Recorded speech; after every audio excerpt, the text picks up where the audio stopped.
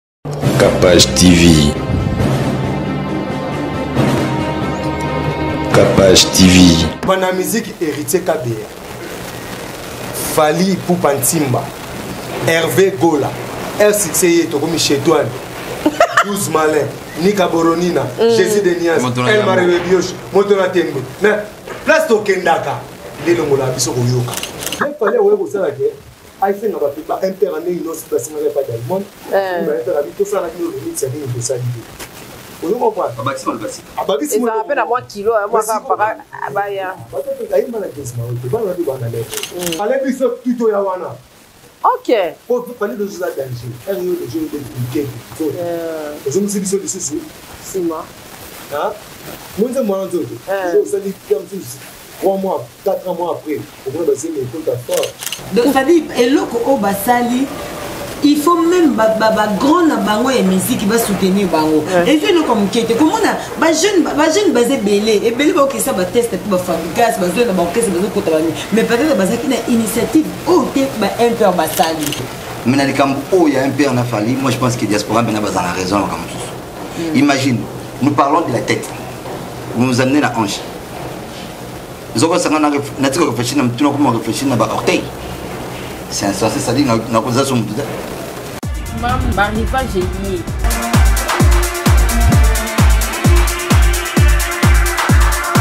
mama zala bopeto mwana mpe azala na bopeto na ye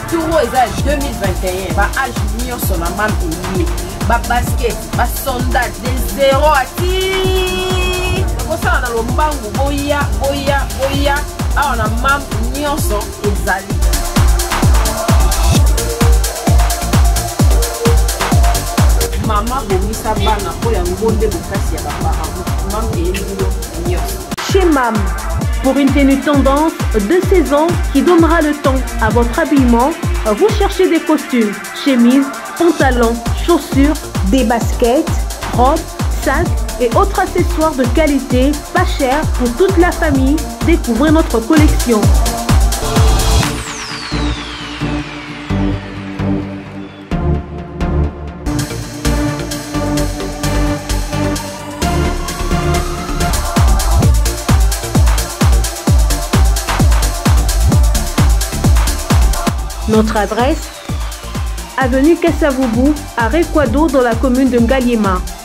Pour tout contact, appelez-nous au plus 243 81 07 58 832 plus 243 99 99 25 124.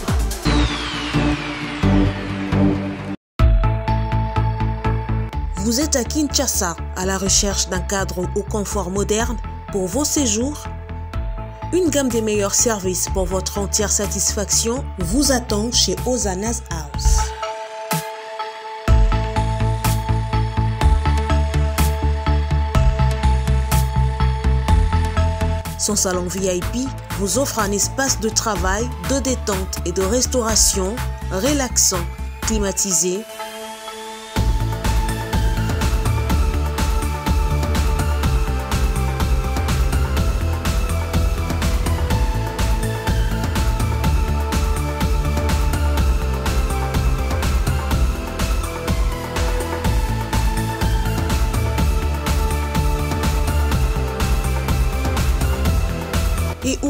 sur un balcon qui vous offre une très belle vue. et d'une cuisine entièrement équipée.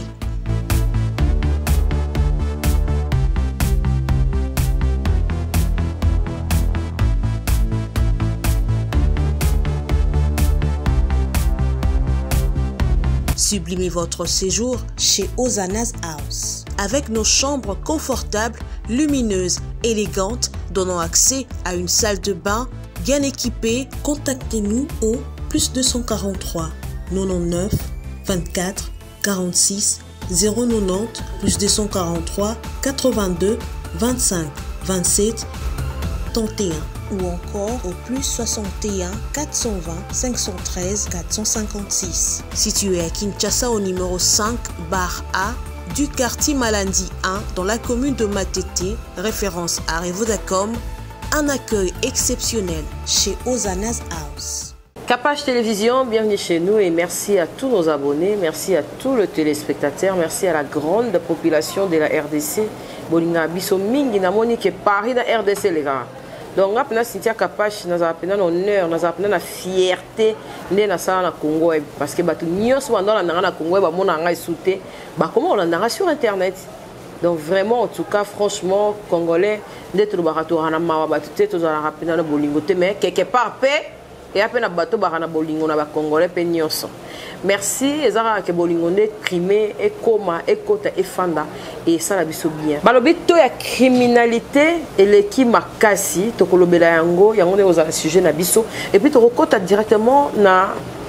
Euh, banzembo na biso oyo ya actualité tomoni papa na biso fali abimisi nzoto tomoni impere baye na nini tosali te yango kaka nde tovandela trois sujet toza na euh, débat na biso toza awa en tout cas tokabola mayele tofongola mpena mitu boyebi ke soki naa na bana mayele awa esalaka bien parce que babi congo na biso fo totambola mpe na intellectualisme eza te kaka so babi youtube ah les youtubes là à l'internet en tout cas non non non non mpo vraiment mpe na 2023 tozokenda na baloba na nga eh, kapache tomonaki euh, bato oyo bavandaki na plateau na yo vraiment motua tomonaki siki motua en tout cas garçon wana blan azalaka nani akoki mpe koloba a ah, kote ya pprd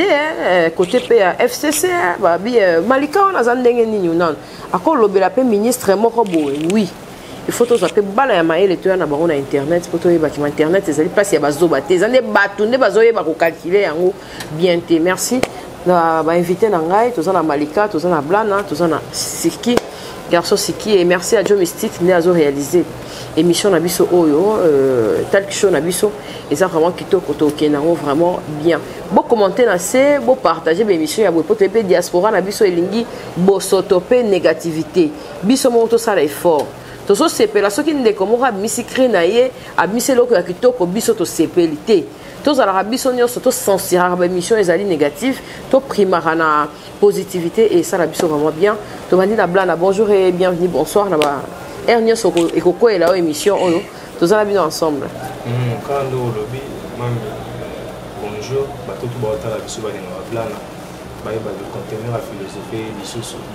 lelo 30 carton lelo tofunga sikoyo na ebien donc conteneur eza na 100 000 carton ntango soki ofungola nyonso te nakodaye mwana nanga continue chemin mm. continue kaka nzela oyo mosaka asalaki mm. mwana nanga lokwa aza nango epa ocontinue kwa tosala nzembo na ye sijakikongo ah. ayebimaka na mingi te oh. nazali tondola lipabaka desaokolisi mpe deya mwana boye oh, mwana mwana mokolo tika boye azolwala footballer ape rapper donc alandi mpe ka lokolo mais yo oboya te yo namoni eh, osepeli na ko mosaka ya lingaya te sujet du congo fo linga te boyi kolinga mwana osala misiki na wenge mpe na bakartier latin bafali kaka boye eh, papa musique nazo esenga batele de formation balakisa ah. motu différence entre musicien na vie privée notre ah, différence yango te donc okotika mwa musique elle aura flé facile so okoti kuna obata mikuwa te tout est au disparaître ah. blague te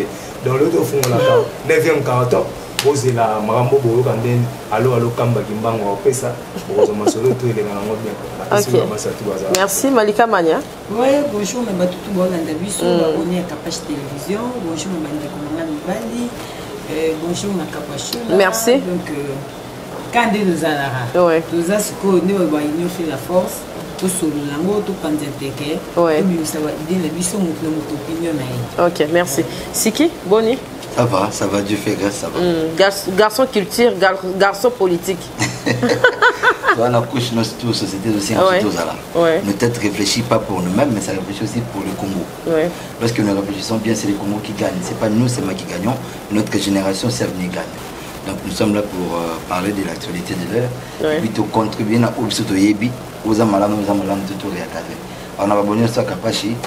nazali. Mm -hmm. Ça qu'on a bien partout vous allez. Ouais. Merci to banda déjà on a vu sujet la bicho et zali ba enlèvement ça mouvement trop. To kaisa lokwa ba ketch ba tiango couleur, ba tiango na ba numéroté yango et ko tika quand même ba enlèvement mais to boni to et comme sous ebele et comme sous makasi okolo ba nini. Na to kenda na Malika, to on est à la femme hein. bon omoni mm. tapage so tolobela to ya enlèvement eza kaka tolobela yango lelo te ouais. toyebi ezalaka ta mosusu na momo boye makasi na esilaka te mekitaka ozomona ouais. mais wana eza likambo oyo tokolobelaka te parce que gouvernement ezali ntango bochange structure keno bamituka nyonso ekota bajaune mais bozokosana kende boyi botiesi mituka bajeune ke basase baotika baotika osala balevemabosalaka oyo bino boloba mais quand même na cas na bino moko fo bocomprendre ke surveillance parce que to toyei koloba na batv boye tozolela to ya enlèvement eza makambo esalamaka ngai nayebi te soki bango moko bakonzi ya mboka barecevaka bato te to bakangaka bato te ke oyo bauti kobotole biloko to basalaki tomoni bakesi ebele bauti koaleve bato ebele awa ozo comprendre kabasho bakonzi ya mboka baosala nini bato batia na pouvoir bato fati beto atia na pouvoir mpo na surveillance ya mboka bozosala nini soda na shege différence eza te alefima esalama te nde nini ata batie barrière moto auti osala opération pa ye boye aza kutu soda aza na ntan kutu ya kocontrole motuka te bapesika eloko mbongo mm. baleki bakei sadire mosala nde na polise na biso ezosala bien te yango to ya enlèvement ezosila te ouais. parce que na mboka nyonso moyibi ezalaka na mboka nyonso mambe ezalaka mais quand même ezalaka mpe na bato na yango ozomona ouais. mais ya biso ekitaka te emataka te cestadi chaque année toyoka baenlèvement esalamaka chaque mois toyokaka baenlèvement esalamaka biso toza ya bato na semaine moko bokutani na moto balevaki trois fois fi mwa kuta esinga banleve nga jipa basoda mpe ezoleka boye bagumbi nga kaka bamoni mpata nga te yango nakoma kofie na mata moto ozo moto moto alinga aleve nga na kobelela bato baoyoka mm. soko na kati ya motuka moto aza na facilité ya kokanga yo moto akoloba te mais soki oyebisa ngai bakonzi ya mboka estce bazomona nde bato bazolela to ya levema ezomata sekirité eza wapi ntango bato baza kose plaindre to ya levement ezomata cetadi bango mpe fo baserre ceinture na, na sécurité na bango ezaka te bakata 23 heures ozomona mm. oimagine ke ata batie tokotaka ndako 23 heures enlèvement ekosila ekoma osala ma moi moi baza koenleve na moi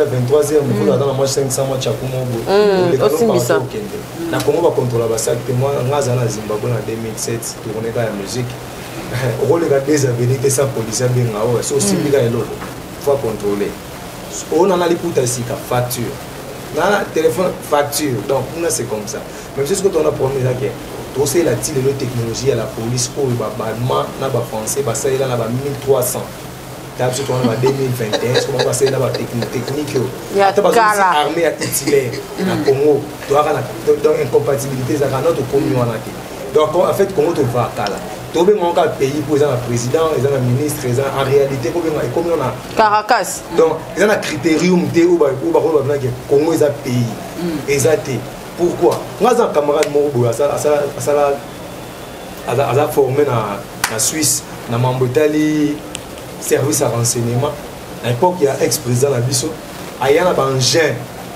ok président mpe akolata montre ya liboko abwaki likolo abwaki pièce mo likolo ata pendant 100 ans econtrolaka ye hmm. bakamera bamai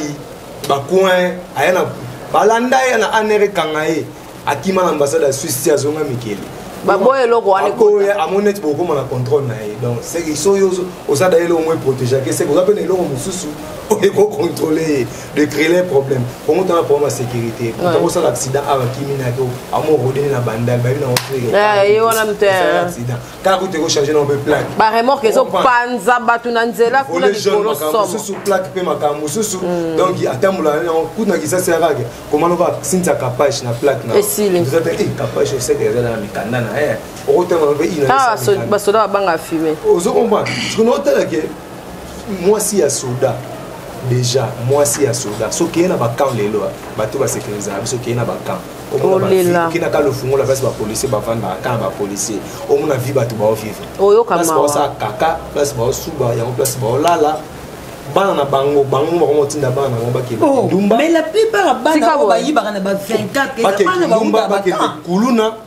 oui. po ba nourrir ba parents na bango siko soda bongo yozela beni esani sécurité nini yozela na beni tokogagnaka rwanda te donc aussi longtemps que totraite basoda na biso bien te ata tosali état de siège ata tosali nini il faut tobanda nao na cause eza nao soda fort soda azwaka na monde soda azwaka salaire ya malonga te ata na états-unis soda aza soda akokoma millionnaire te osakomi millionnaire akomopanse bamona coup d'état en fait bafacilitaka jouissance ya soda afuta carte nde tomona awa traitement na ye kolia na ye mamne tout faut azalaki ofele ofele ofele oyo asala soda ata camarade ya jésus sacrifice suprême akendaka guerre so olali pongi kwa defandema nawe na olumuta bongo omerite ni ta jésus ameritaka toluwe yesu basoda oyo bana mpe azongi akosenga na babutike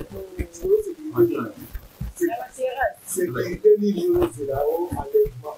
ekokoma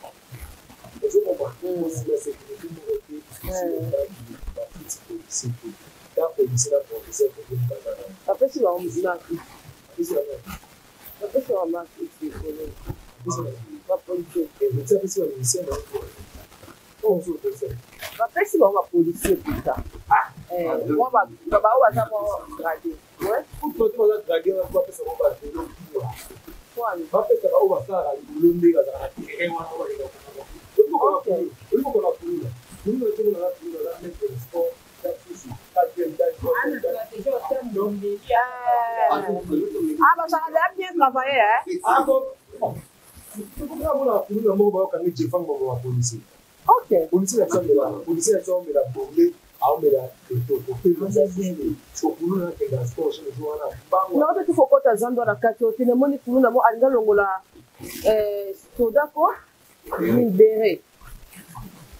policier te mais oyo balataka fardc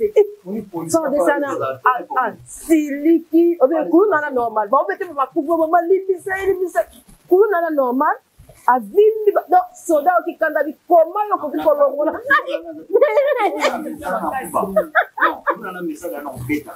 aoyoka waso elongo te azobete motu na mie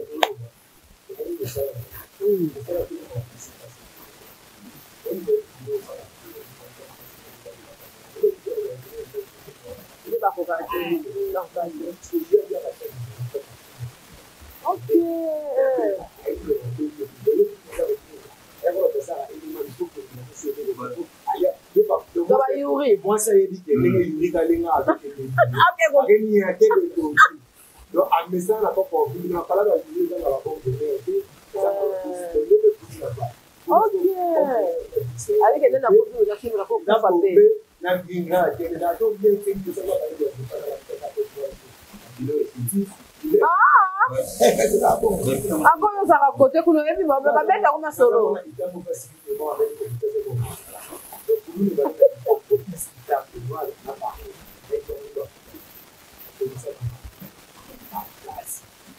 Mpaka babanga ya mobutu te babanga bamabanga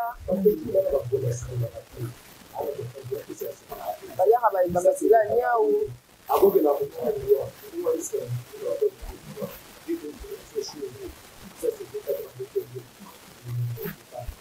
tika boye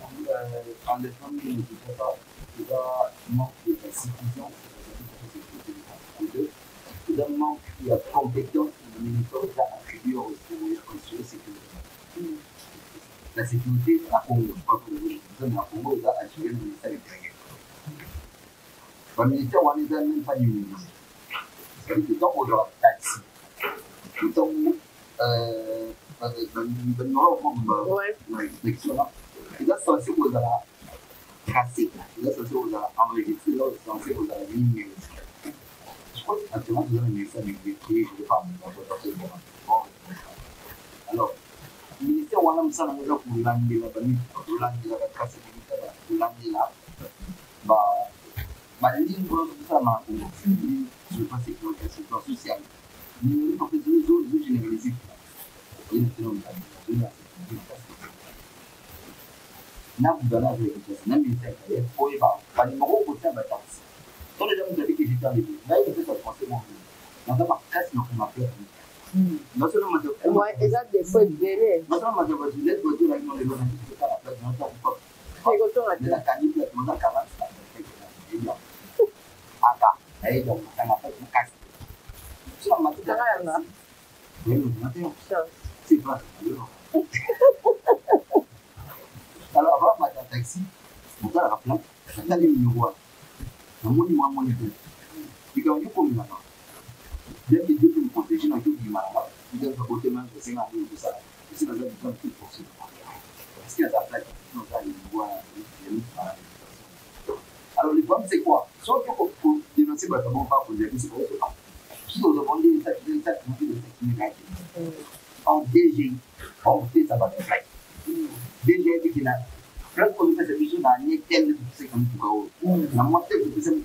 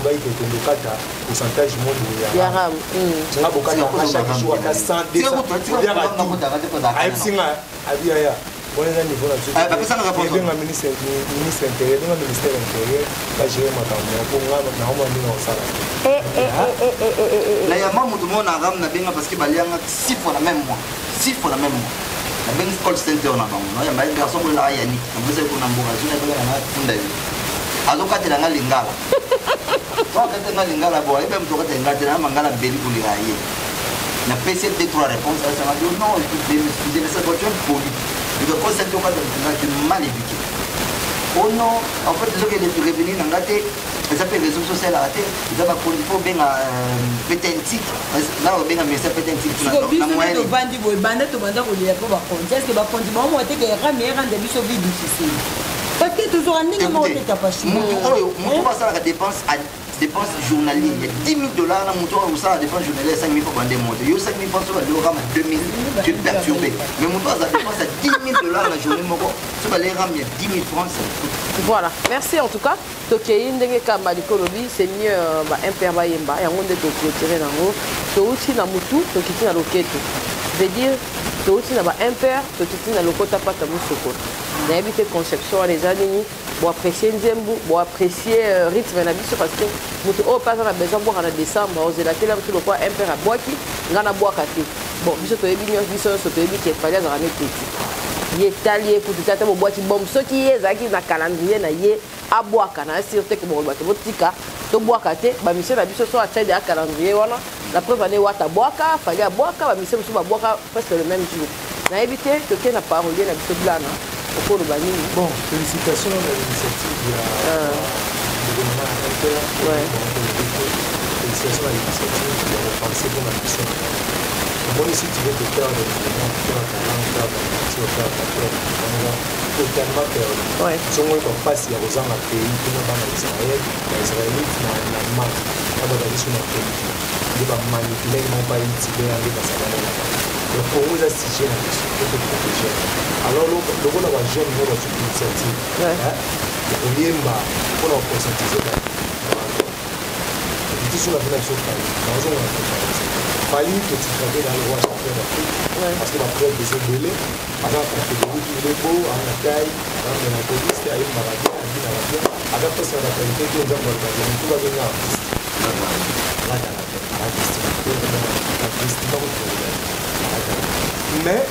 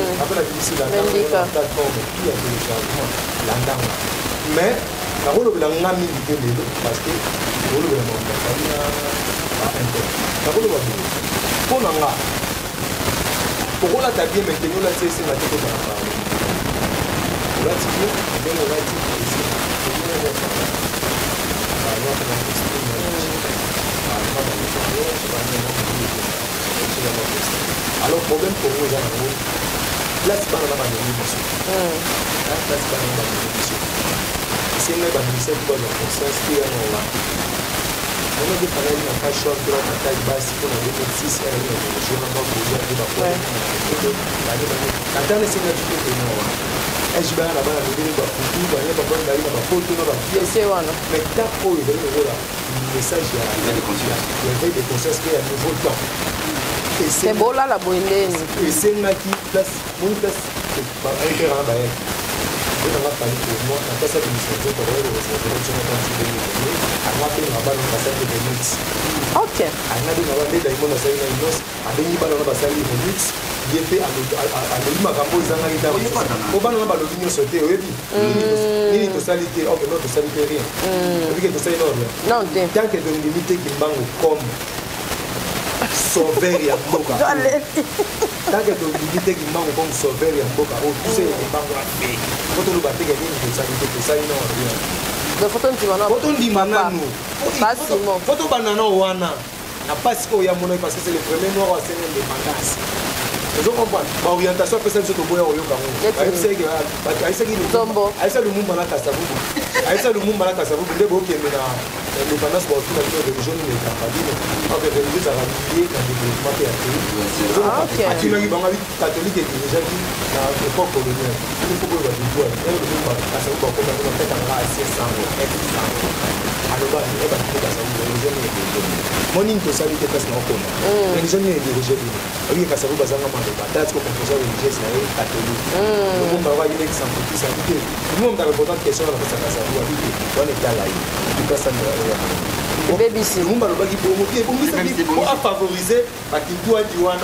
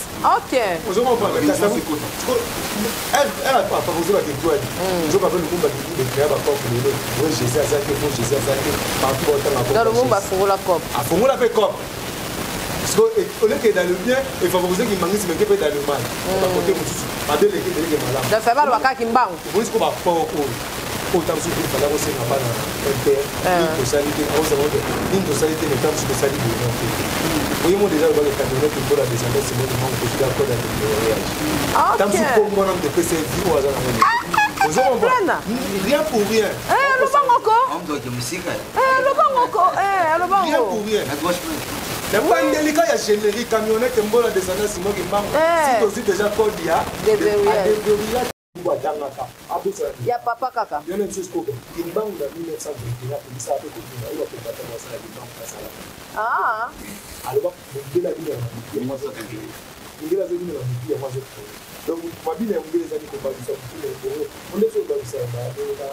tozobotana loketo ya bana bana tozowangana ozo comprendre okela mama action tozoma okoma biso tobina trop na loketo yango tata moke 5 millions d'habitants ozo comprendre mundele abalusa motu makasi yango ba wifi bamakambo ebele ba messenger biso bana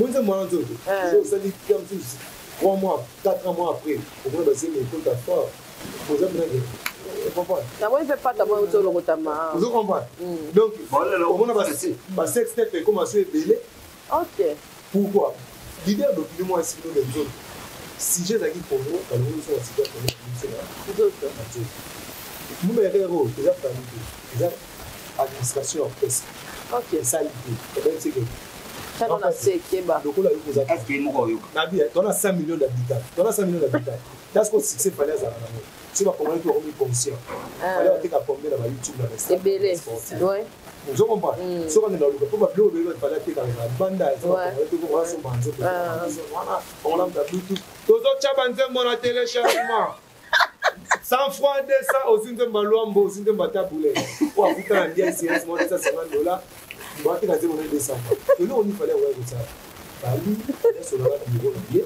bayebisa ye ke c'est pas c'est pas encore le moment oza nzembo totika kongala azwa nano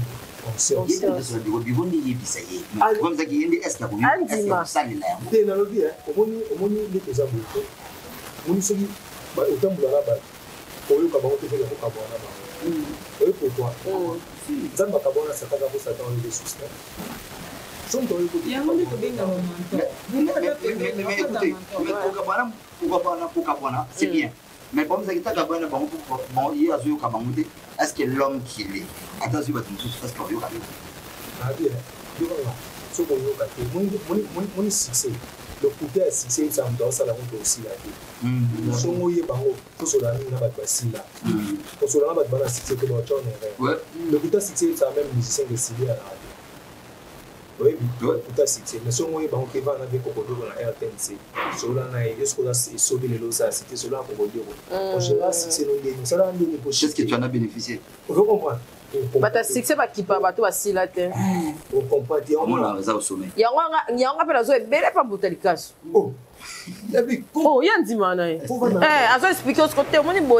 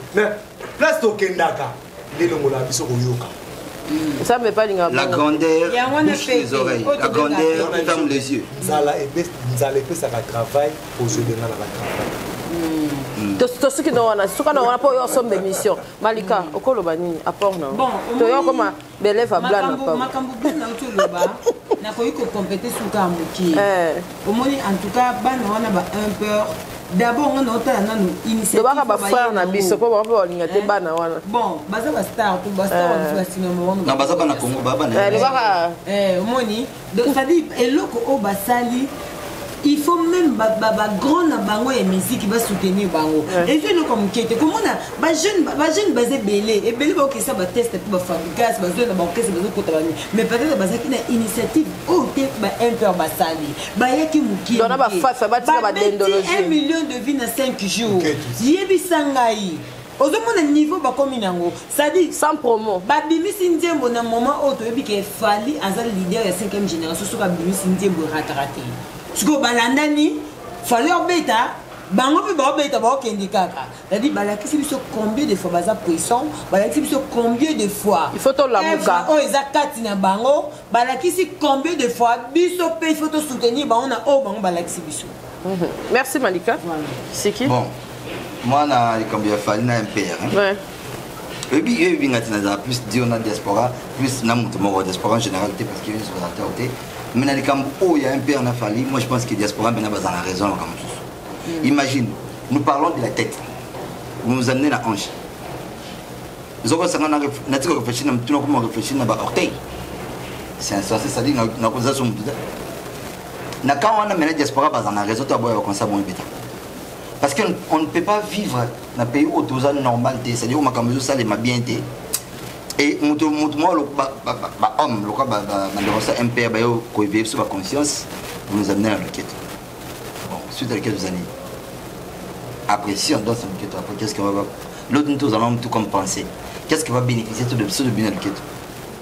au contraire tobemisi ebele na bato baolamusa biso na cerveau parce que nini tosali te même ngai eza mamosusu nasali te mpo na congo bien que je parle trop pour le congo même biso nini tofandi eza mamosusu tosali te bien que tolobaka trop pour le congo bango balamusi biso balamusi kaka biso te balamusi na bapasteur batuti mokonzi batuti mokonzi kutu na ye moko balamusi mame na barégime passé mm. siko fali yona tubi yona ngo nazo renchérir kalo olobi seke fali au moins fali abenga bango boya tosala mwa featuring ya ya comment appelle ça remix ya eloko oyo mais ngana bakisa oyo pa ngana fana na bakisa eloko tel na tsa pepia na edifice wana ya on engesa malam et quant à un père moi je vous encourage encore et encore mm. nini to salte ces petits boko ba sukolo ba nini on sala raté mm. là tu vas juste bon les gars là est top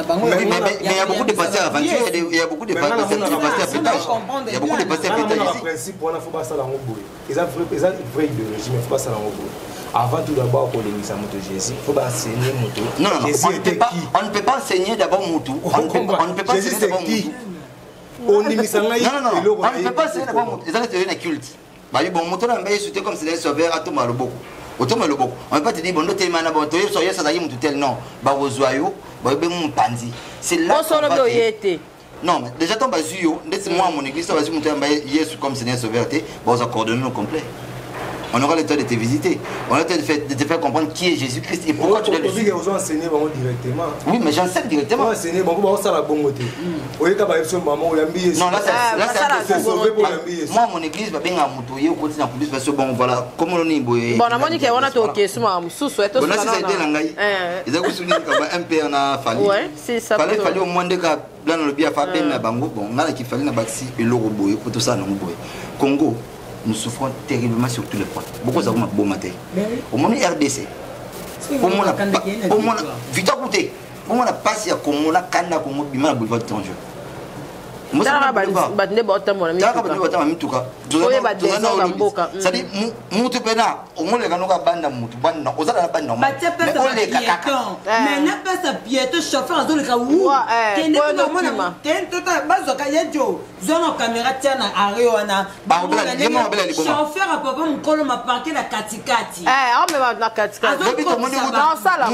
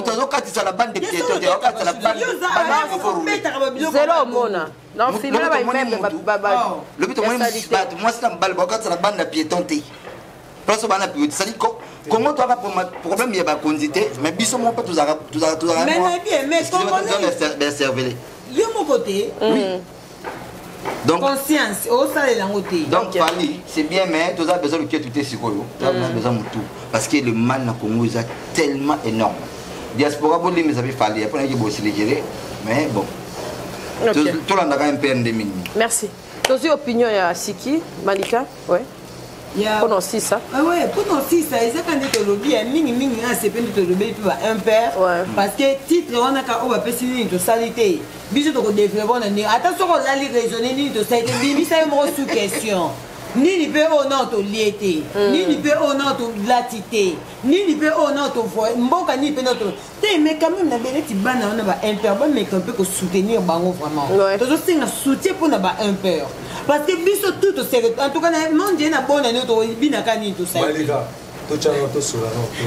tobayi no na biso awa combien de personnes toza toposte nzembo wana ngai nga postaki nga moi j'avais posté tolongwe mpo na biso tokesiko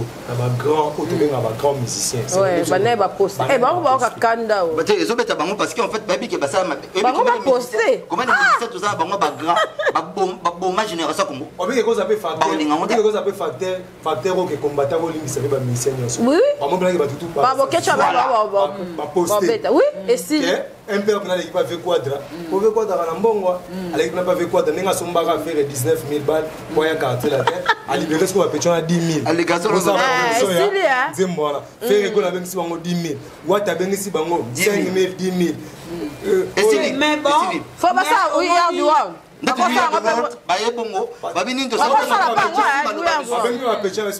mpe baye biso tu toyemba siko nzembo bolimbisi na poto mawe monani nomuza ndo oyebisabasoutenir bango te po baboma kongo ebele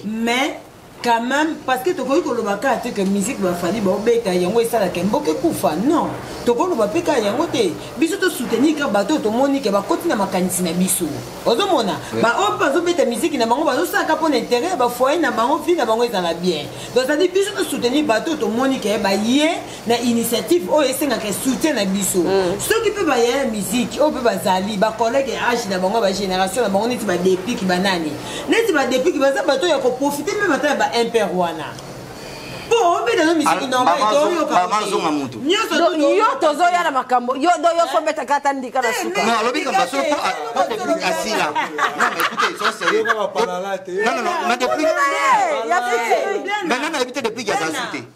akokuta un verre qui ne laissait pas qui ne laissait pas depuis ya zali lokwa kombo no tenge ngo seka zali eh nataka kuna yeba ba ya kala totaki bango passé blana te tolala mabashula mabashula nakomi na point wana parce que toloba bien eloko oyo baimpere basali baza mpe bajeune talent bakoki mpe kokende mpe mpesi moko kokota na orchestre moto moko mpe mpo baameliore mais bango moko bazwi initiative ya kosala eloko oyo ta mpesi ememi bango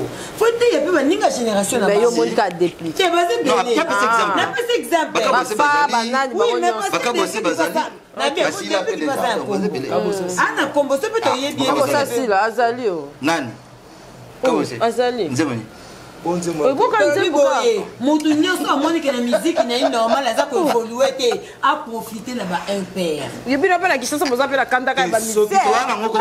ba combattant a pe na boza ata ozo évoluer ba ba ko ko za vanda o vanda ne héritier na palais boy o mo bela tam su j'aime moi beta ba faux beat asala pe sina ko tanga kombo te ba e pala lele lipe wa tagi a wa ta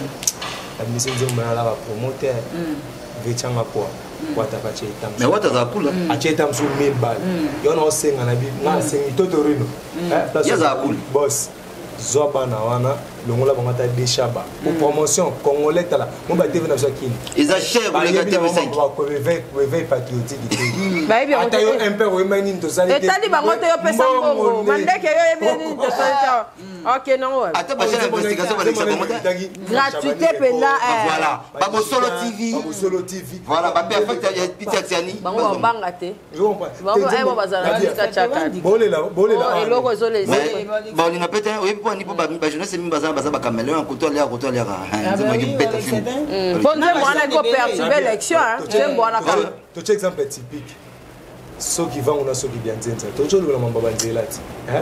mamba banze banzela mais ti eza chanson chanson eleki sofe lekumbanga malembizemoni eleki nzembo wana mamba mais basala en promotion ministre ministre ya transport mm. akozwa mpe nzembo wana abengi ba mpera liboya boremitse nzembo makasi na mamba ba eveil patriotique mm. bobeta ndika oyo oh. nzembo oyo bolekisa mm. bato ke nde baenleve bato mm. nde baosala boye obeta nini toyembi te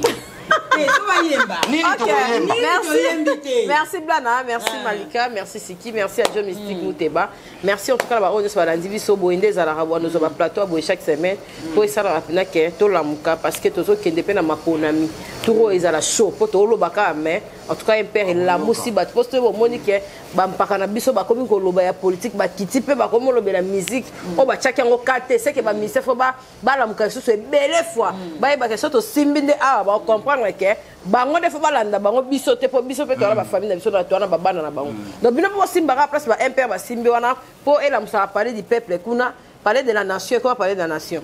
elamusaka kuna mpo toyeba ndenge tokosala omonaka nde balobi ke bamakambo mosusu ekose decompte yango moko merci bay à la prochaine bopartage boaime toyebi ke bino bolingaka basupportes bagangi eh, te biso tolingi nde oyo bopartageaka eh, ah, ah, bamemaka ah, papa mokonzi ya mboka namoni mais oui eza ndeti bakote nini nyonso titre eza nini oyoka mpena oconfondre caniveau na poubelle ozwi salite obwaki na caniveau caniveau bouche ino na secret bapete humaine bareproche yo yoka réponse ozopesa o eske eza yo moto okobongisa mboko oyo okoyokaeloko eboma kongo yango wana eskengaayembaka bavoi batutu oyoka suna kasi oloba bapesi yo gestion ya institution ya mboka yokomisi yango cope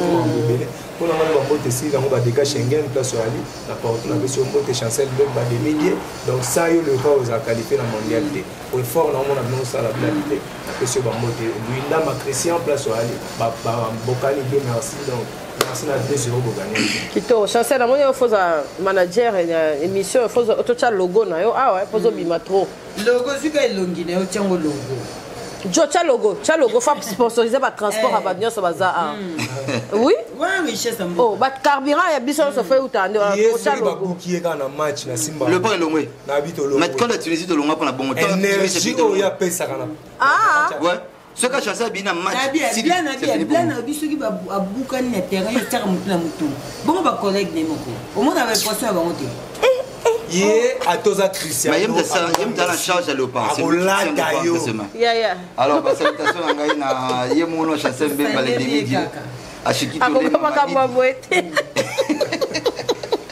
aseki tolema mabidi l'international congolais qui au congo actuellement et salutation à na bavainqueur nyonso toasolola mpe azobima trop siki tolema mabidi babi solola okiti solola mpo kapasula ye yo ndeka tosolola elobi na butu sala yango sale bien tosolola na lobi na butu donc c'est bon et mes salutations à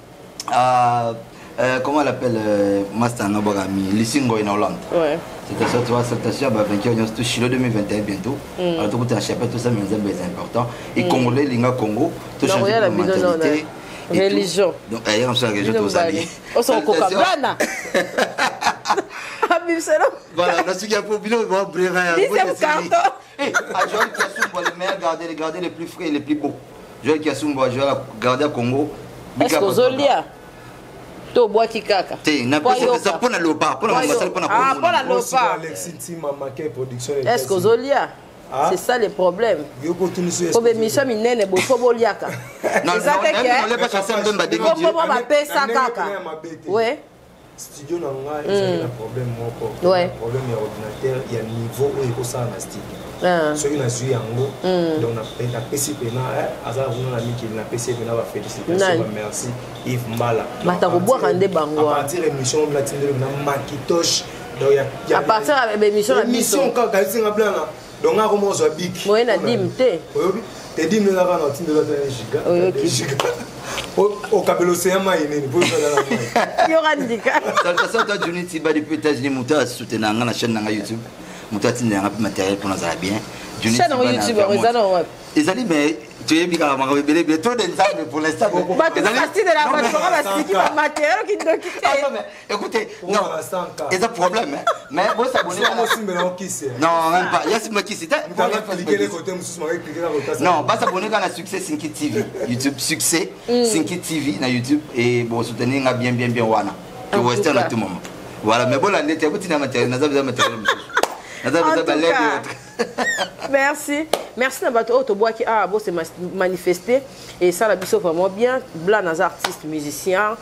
malika manya sœur na biso aza pe na moi euh, linganga na ye ezala kote nini so bato balingi bazwa mwa so embouteillage eza baliba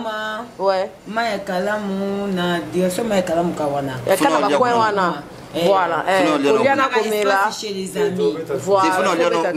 ngai mongala nde mbisa mai oh, c'est bon c'est bon limbondo te lezanga libongo ah. ok merci en tout cas merci na bango balandi biso eza vraiment plaisir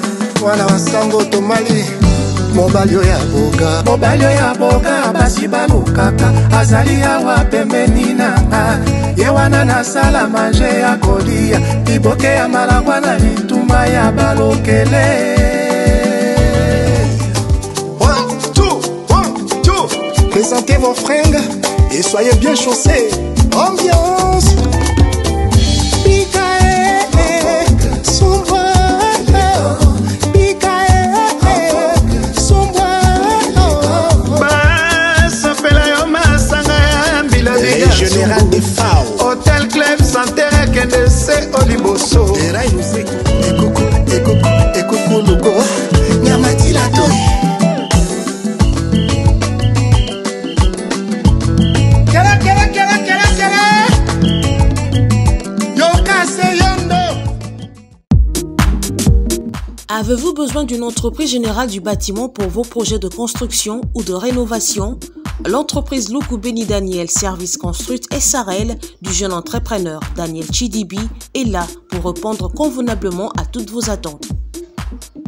Elle est spécialisée dans la construction des maisons individuelles, des bâtiments collectifs, industriels et publics. Loukou Beni Daniel Service Construite SRL c'est aussi plusieurs autres services, notamment l'étude et la réalisation des projets de construction, la maçonnerie, le bétonnage, la finition, le plafonnage, le carrelage, la charpente métallique et en bois, l'aménagement de l'intérieur et de l'extérieur, la vente et achat des terrains, appartements et matériel de construction. Béni Daniel Service Construite SRL met également à votre disposition un service de formation en DAO, dessin assisté par ordinateur et autres.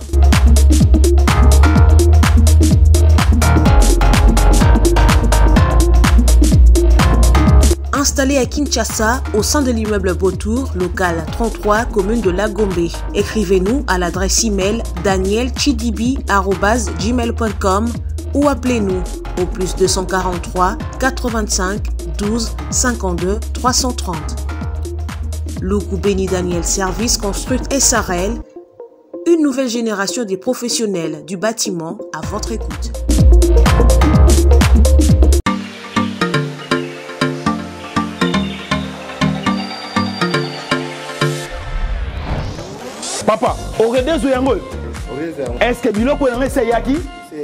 kokotela eza wapi mbote na biso mbote mama kapash yo mpo ozawa awa na wagadezo na contener oyo bayebisi nga serie ezawa makasi